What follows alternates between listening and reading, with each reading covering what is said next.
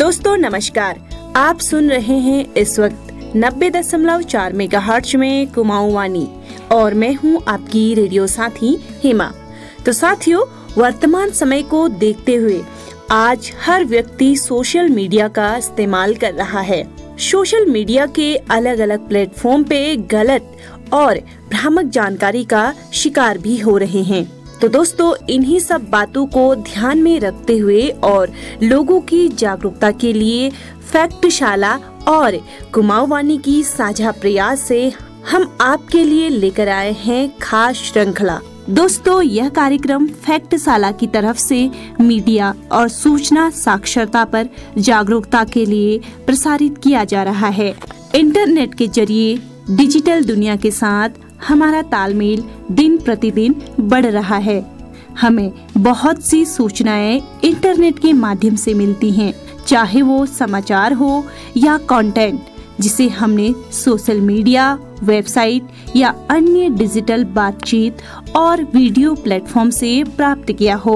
कार्यक्रम का मकसद ऑनलाइन उपलब्ध जानकारियों को लेकर बेहतर समझ और विश्लेषण करने में मदद करना है।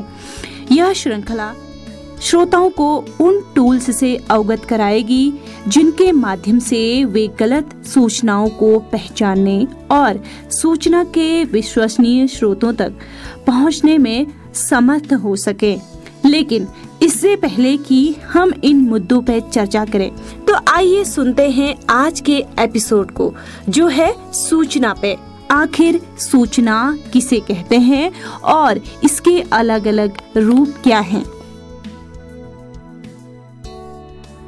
मेरा नाम कविता है और इन्फॉर्मेशन क्या है इसके बारे में या सूचना क्या है इसके बारे में आ, मैं कहना चाहूँगी कि जो सूचना है जिसको अंग्रेज़ी में इन्फॉर्मेशन कहते हैं यानी कि जब हमें किसी माध्यम से कोई जानकारी मिलती है वह सूचना कहलाती है। जैसे उदाहरण के तौर पे बोलूँ मान लीजिए एक खबर आई कि नैनीताल में जो बाघ है, उसने किसी पे हमला किया या फिर नैनीताल के जो जू है, उसमें बाघों की संख्या में बढ़ोतरी हुई। यह हमारे लिए एक न्यूज़ है। दूसरी खबर आती है, नैनीताल के जू में बाघ गुर्राया। तो वो हमारे लिए न्यूज़ नहीं है। सूचना एक ऐसी चीज़ है जिसकी हम सबको ज़रूरत होती है। चाहे यह एक व्यक्ति के बारे में हो या किसी जगह के बारे में किसी समुदाय को लेकर या किसी देश और दुनिया के बारे में। सूचना मानव जाति के विकास का आधार है तो इसकी अहमियत कहीं अधिक बढ़ जाती है। चाहे वो सरकारी स्कीम हो, नागरिक अधिकार का मामला हो, या फिर मौसम, स्वास्थ्य, शिक्षा आदि से जुड़ा जीवन का कोई भी पहलू हो। सूचना के प्रति उदासीन भावना व्यक्ति और समाज के लिए हानिकारक हो सकता है, कि वास्तव में सामुदायिक रेडियो का मकसद ही है कि जिन लोगों की सूचना तक पहुँच नहीं है, ऐसे हाशिए पर खड़े लोगों तक सूचना पहुंचाना और उन्हें शिक्षित करना। इसका सबसे सटीक उदाहरण वर्तमान में चल रही महामारी है। इस दौरान लोगों के बीच कोरोना वायरस और इससे कैसे बचाव करें इसकी सूचना और जागरूकता की कमी की वजह से बेहद कम समय में ये महामारी विश्व स्तर तक काफ़ी तेज़ी से फैल गई है। न जाने कितने लोगों की जान चली गई। बहरहाल, भारत सरकार लगातार मास्क पहनने, सामाजिक दूरी और हाथों की सफ़ाई को लेकर राष्ट्रीय स्तर पर काम कर रही है, ताकि कोविड 19 के फैलाव को रोका जा सके। सही सूचना हमारे लिए कवच की तरह है। ये हमें सशक्त करती है, आपदा और गंभीर स्थिति से बचाती है। ये हमारी सोच, विचार और व्यवहार को ढालने में मदद करती है। ये हमें रास्ता दिखाती है जिसके ज़रिए हम अपने जीवन का मार्गदर्शन करते हैं। जानकारी के बिना जो घटनाएँ हमारे जीवन को आकार देती हैं, ना तो हम उन्हें समझ सकते हैं और ना ही उन पर प्रतिक्रिया दे सकते हैं। इसीलिए ही कहा जाता है कि सूचना ताकत है। सूचना सही भी हो सकती है और गलत भी। चलिए समझते हैं, सही और गलत सूचना किसे कहते हैं और इनके बीच में फ़र्क क्या है। सही सूचना आपको सही फैसले लेने में सक्षम बनाती है। यह हमें चुनौतियों को समझने और उससे लड़ने की ताकत देता है। इसके सहारे हमें परेशानी से मुकाबला करने की दिशा और विकल्प मिलते हैं। यही नहीं परिस्थिति कैसी भी हो, अगर आप सूचना से लैस हैं तो आपका उसमें ढलना मुश्किल नहीं होता। सही सूचना अक्सर जाँच परख से गुजरते हुए भरोसेमंद स्रोत से आती है। इसमें भावनात्मक बहाव के बजाय संतुलित जानकारी होती है। सही सूचना हमें हमारी सेहत और ज़िंदगी के बेहतरी में मददगार साबित होती है। ये हमें परिवार और जिन लोगों की हम परवाह करते हैं, उनकी देखभाल करने में मदद करती है। मसलन, जिन माता पिता को ये पता है कि उन्हें सही समय पर बच्चे का टीकाकरण करवाना चाहिए, उन बच्चों की रोग प्रतिरोधक क्षमता बढ़ जाती है, जिससे उनके बच्चे जीवन भर के लिए गंभीर बीमारियों से लड़ने में सक्षम होते हैं। लोकतंत्र में सूचना की अहमियत कहीं बढ़ जाती है। अगर जनता के बीच सही जानकारी है तो वो चुनाव में सही प्रतिनिधि और सरकार का चयन करते हुए देश को प्रगति के पथ पर ले जा सकती है। सही सूचना एक सूचित और जिम्मेदार मतदाता तैयार करता है, जो अपने मताधिकार का प्रयोग लोभ, लालच से परे निर्भीकता के साथ करता है। और इसी तरह तो लोकतंत्र की नींव मज़बूत होती है। सही सूचना के सहारे हम जीवन को संयमित करते हैं और यह हमें अपने अधिकार, ज़िम्मेदारी, पसंद और हमारे द्वारा उठाए गए कदम के संभावित परिणाम को लेकर जागरूक करती है। सूचना ही वो टूल है जिसकी मदद से हम ज़िंदगी की दशा और दिशा तय करते हैं। इतना ही नहीं, सही सूचना हमारे पास सकारात्मकता लाती है। तो दोस्तों, अब हम बात करते हैं गलत सूचना के बारे में। सूचना, यानी कि जिस परिवेश में हम रहते हैं या जिस परिवेश में नहीं रहते हैं, वहाँ की खबरें लेना एक सूचना है। सूचना दो तरीके की हो सकती हैं। पहली सूचनाएँ वो, जो सत्य हैं। और दूसरी वो जो असत्य हैं, लेकिन सूचनाओं के रूप में हम तक पहुँच रही हैं। अब सूचना पहुँच गई, लेकिन हर सूचना जब एक व्यक्ति से दूसरे तक पहुँचती है किसी भी माध्यम से तो उससे व्यक्ति के भीतर विचारों का निर्माण होता है। अगर सही खबर है तो भी विचार होंगे, और अगर झूठ खबर है या जो सही तथ्यों पर आधारित नहीं है, उससे भी एक इन्वायरमेंट बनता है। हम देखेंगे कि कोरोना काल में ही कोविड से जुड़ी तमाम खबरें थी, जिसमें रोज हमारे स्वास्थ्य डिपार्टमेंट का हेल्थ बुलेटिन जारी हो रहा था, जिसमें ये थी कि पूरे उत्तराखंड में इतने कोविड पॉजिटिव पाए गए इतने डिस्चार्ज हो गए इतने हमने जाँच के दायरे में हैं इतने मर चुके हैं एक जानकारी। और ये था कि बहुत सारे लोग सोशल मीडिया के माध्यम से ये भी जानकारी दे रहे थे कि वहाँ पर लोगों ने मास्क बांटे वहाँ पर लोगों को खाने की दिक्कतें थी तो ये किया गया। और आ, रूल रेगुलेशन क्या एडवाइजरी जारी होती है। दूसरी तरफ़ उसी संक्रमण काल में ऐसी भी खबरें हम तक पहुँची कि घर के दरवाजे के नीचे के पटाल को उखाड़ के उसके नीचे कोयले मिलेंगे और उसका तिलक करने से कोविड भग जाता है। और ऐसी भी सूचनाएँ मिली कि शमशान घाट की राख लगाने से भी कोविड भग जाएगा। और लोगों ने ये भी कहा कि तवे का काले, काला तिलक लगाने से भी कोविड भग जाएगा। और ये हमारे इर्द गिर्द या बाहर से मिली खबरों के आधार पर लोगों ने इस जुमले को आजमाया भी।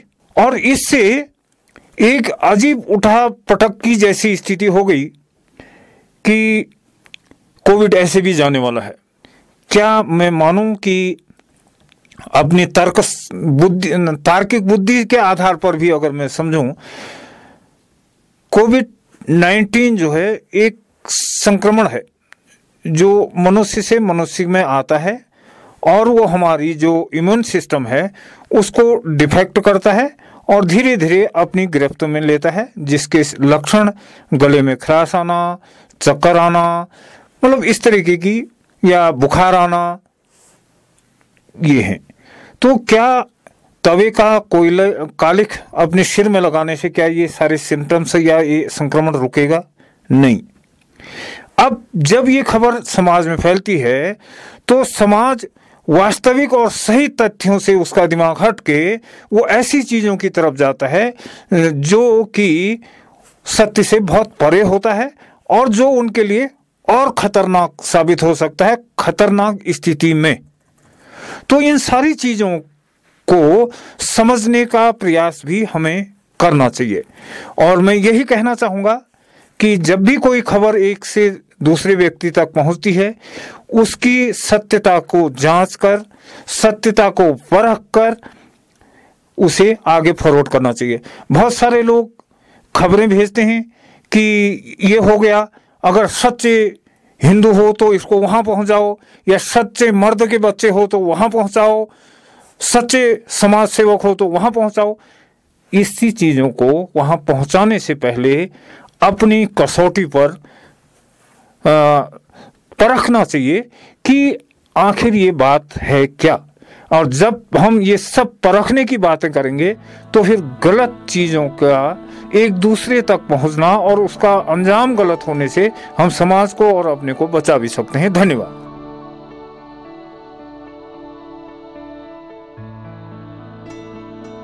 गलत सूचना की बुनियाद झूठ है। और ये नकारात्मक एजेंडे के तहत बनाई और फैलाई जाती है। भ्रामक सूचना फेक न्यूज़ चयनात्मक जानकारी और संदर्भ रहित जानकारी। इसके कुछ उदाहरण हैं। आइए जानते हैं। गलत सूचना खतरनाक होती है, जिसकी कीमत इंसानों को जान देकर भी चुकानी पड़ जाती है। आजकल आप देखते हैं कि अफवाह अथवा घातक जानकारी जो कि ऑनलाइन माध्यम जैसे सोशल मीडिया, वेबसाइट और व्हाट्सएप जैसे मैसेजिंग एप्लीकेशन के माध्यम से फैलाई जाती है। लोगों के लिए ये अफवाहें चिंता का कारण बन जाती हैं। या जनता के बीच दहशत पैदा करती है, जिससे इनका भ्रामक प्रचार होता है। झूठी सूचना पर लोग बेकाबू हो जाते हैं और कार्रवाई करते हैं। ये एक्शन उग्र हो सकते हैं जिसका हानिकारक प्रभाव समाज पर पड़ सकता है और इन्हें फिर वापस बदला नहीं जा सकता।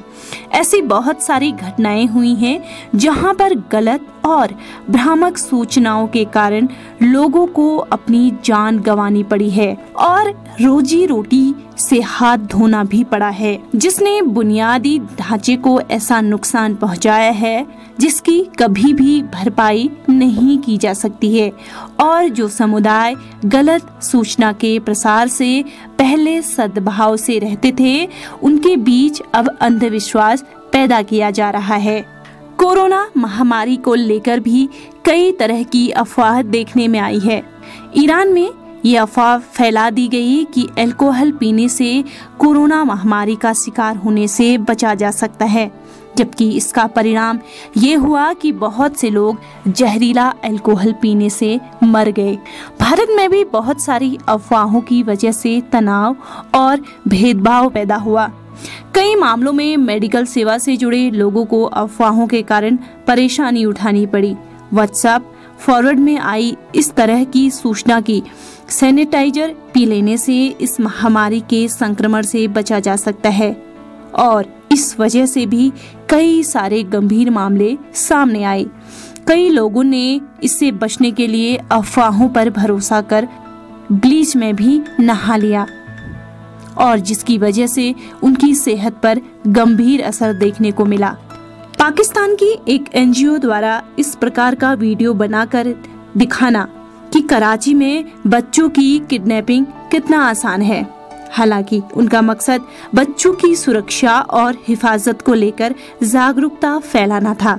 लेकिन भारत में विभिन्न हिस्से में इस वीडियो के साथ छेड़छाड़ कर इस प्रकार फैलाया गया कि मोटरसाइकिल पर लोग बच्चों का अपहरण कर रहे हैं। इस प्रकार छेड़छाड़ किए हुए इस प्रचारित वीडियो का परिणाम मॉब लीचिंग, हत्या जैसी घटनाओं के रूप में देखने को मिला। सूचना का हम उपयोग करते चले जाएँ, यह खत्म नहीं होगी।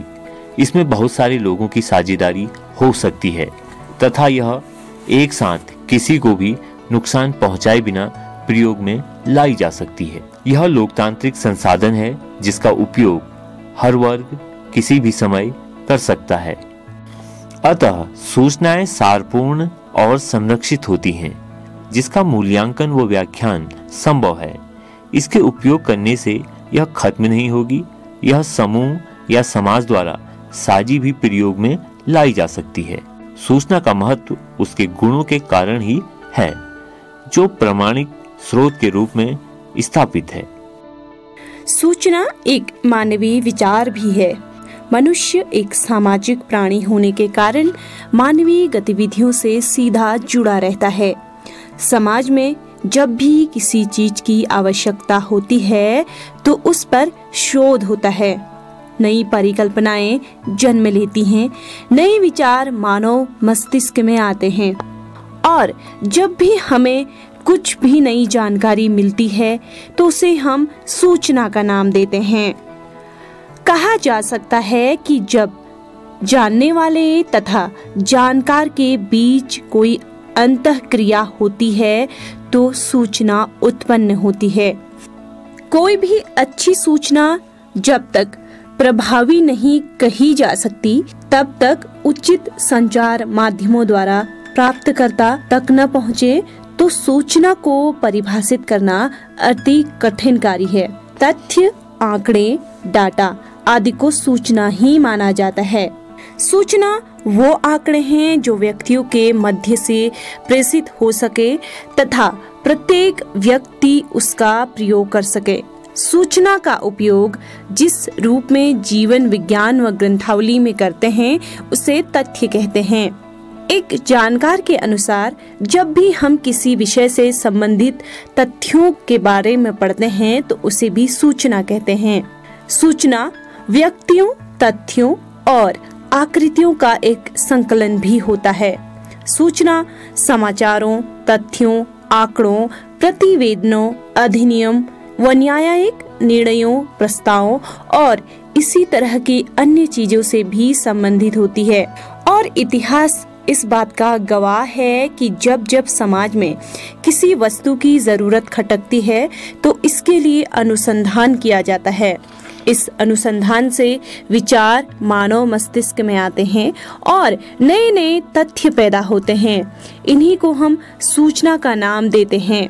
सूचना वो है जो मानव जैसे चिंतनशील प्राणी को सोचने के लिए मजबूर कर देती है और एक दूसरे से विचार व भावनाओं को साझा करने के बारे में भी करता है। सूचना के अंतर्गत निर्णय, निर्धारण प्रक्रिया से संबंधित सूचना आती हैं। इसके अंतर्गत संयुक्त गतिविधियों की परिभाषाएँ, उद्देश्य, ज़िम्मेदारी का निर्धारण, कार्यों का विकेंद्रीकरण आदि से भी सम्मिलित किया जाता है सूचना, जो बातें आपको आपसे संबंधित किसी कार्य या दस्तावेजों से संबंधित औपचारिक जानकारी देते हैं, उसे भी हम सूचना का ही नाम देते हैं देखिए सूचना का मतलब है कम्युनिकेशन एक संचार को ही सूचना कहा जाता है और सूचना जब लोगों तक पहुँचती है तो एक, एक कम्युनिकेशन का रूप लेती है। तो एक और वही फिर बृहद स्तर पर जाती है तो वो एक बड़ी सूचना का रूप लेती है। सूचना के माध्यम अब बहुत ही डाइवर्स प्रकार के सूचना के माध्यम हो गए हैं। आपको सूचना का माध्यम आपका इलेक्ट्रॉनिक मीडिया हो सकता है प्रिंट मीडिया हो सकता है सोशल मीडिया हो सकता है, या फिर सूचना का माध्यम एक एक सांकेतिक रूप में भी हो सकता है कि जो जो कई बार हम सांकेतिक रूप में भी समझ लेते हैं कि वो भी एक सूचना का माध्यम समझ आता है। ये सूचना का माध्यम आप अगर आज बात करें तो सूचना को हम दो तरीके से देख सकते हैं। अगर हम कुछ समय, प्राचीन समय की बात करें या कुछ पहले के समय की बात करें तो सूचना का माध्यम बहुत सीमित संसाधनों से हमें सूचना प्राप्त होती थी।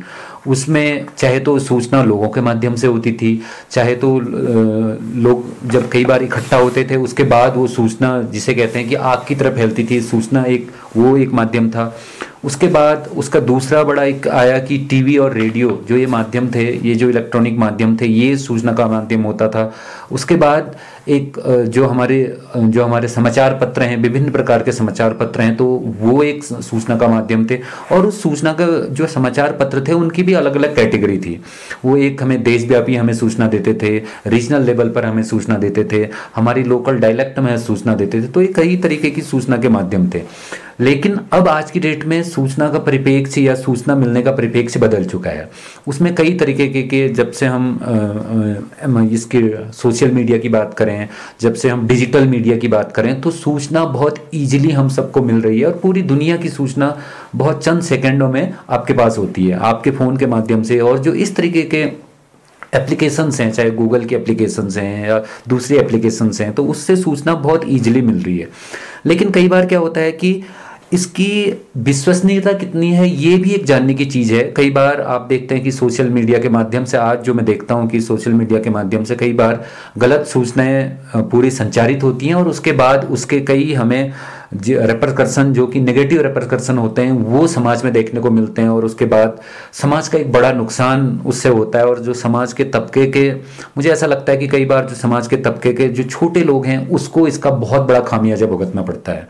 तो कई बार क्या होता है कि ये एक सोची साज, सोची समझी साजिश के तहत भी सूचनाओं को संचारित किया जाता है, प्रसारित किया जाता है और उसके बाद उसका जो निगेटिव असर होता है, जो नकारात्मक असर होता है, वो हमारे समाज के ऊपर देखने को मिलता है। तो ये एक सूचना का एक एक माध्यम है। जब सूचनाएँ प्रसारित होती हैं और जब हम उसकी विश्वसनीयता को नहीं देखते हैं तो उसका एक सीधा साधा असर क्या होता है कि एक जो आम जनमानस होता है, जो सीधे सच्चे लोग होते हैं, उनकी ज़िंदगी पर बहुत बड़ा असर होता है। तो सबसे पहले तो यह है कि जो हमें सूचना मिल रही है, उसकी विश्वसनीयता को परख लें, क्या वो सही है या गलत है, उसको हम जाँच लें। कई बार ऐसा होता है कि इसका सीधा सीधा असर हमारे समाज के ऊपर होता है और नकारात्मक रूप में होता है। कई बार देखिए अगर हम जैसे बात करें कोविड की तो कोविड को लेकर के कई तरीके की भ्रांतियाँ फैला दी गई, कई तरीके की चीज़ों को इस तरीके से प्रसारित कर दिया गया कि जिससे कि जो आम जो जनता है और जो छोटे लोग हैं, जो छोटे तबके का समाज है, उसके ऊपर बहुत बड़ा असर हुआ। तो इस तरीके से कई चीज़ों को, कई चीज़ों को धर्म से जोड़ के प्रसारित कर दिया जाता है, संचारित कर दिया जाता है तो कई बार दंगे भड़क जाते हैं। तो एक छोटी सी सूचना होती है और गलत सूचना होती है और पूरे समाज में वो एक एक भयानक रूप ले लेती है और उससे जान माल का बहुत बड़ा नुकसान होता है उससे हमारे आपसी सौहार्द खत्म होता है। तो मैं तो ये कहूँगा कि आज हमारे पास इतने माध्यम हो चुके हैं क्योंकि आज जब हम बात करें डिजि, डिजिटल इंडिया की बात करें तो एक जो टेक्नोलॉजी है जो एक टेक्नोलॉजी का जो एक पहुँच है वो आम आदमी तक है। तो कोई भी, अगर मेरे पास अगर कोई सूचना आती है तो मैं कम से कम उसको उसकी विश्वसनीयता को परख लूँ। और प्रत्येक आदमी का, प्रत्येक जो हमारा जनमानस है, उसका भी ये कर्तव्य है कि जो उसको सूचना प्राप्त हो रही है, उसकी विश्वसनीयता को देखे, परखे, जांचे, उसके बाद उसमें कुछ रिएक्ट करे। कई बार क्या होता है कि हमें सूचनाएँ तो मिलती हैं और हमें, हम उसकी उसकी विश्वसनीयता को परखे बिना उस पर रिएक्ट करने लगते हैं। और वो रिएक्शन हमारा बहुत अच्छा भी हो सकता है और रिएक्शन हमारा बहुत खराब भी हो सकता है। तो मुझे लगता है कि दोनों पहलुओं में ये ठीक नहीं है कि हम उसको, उस पर बहुत ज़्यादा विश्वास कर लें या उस पर विश्वास ना करें। तो इस सबसे पहले मेरा तो मानना ये है कि हम उसकी विश्वसनीयता को परखें, उस सूचना की, उसके बाद जो हमें, हमारे जो रिएक्शन है, जो हमें उसमें करना है, उसको करें।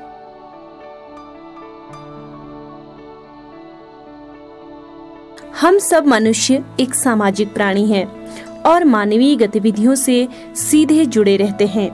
हमें किसी चीज़ की आवश्यकता होने पर उसकी शोध की जाती है, जिससे नई परिकल्पनाएँ जन्म लेती हैं और ये परिकल्पनाएँ तंत्रिकाओं के माध्यम से मस्तिष्क तक ले जाए जाती हैं।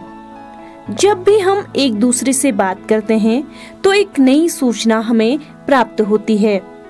और जब मनुष्य विचार करता है तो उसके मस्तिष्क में अनेक सूचनाएँ इकट्ठी हो जाती हैं।